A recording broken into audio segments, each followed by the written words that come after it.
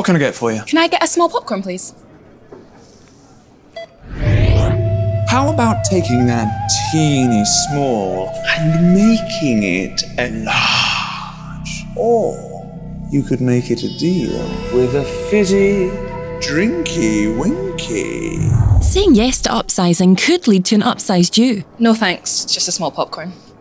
Got ya. It's time to say no. Find out why and play our game at foodstandards.gov.scot.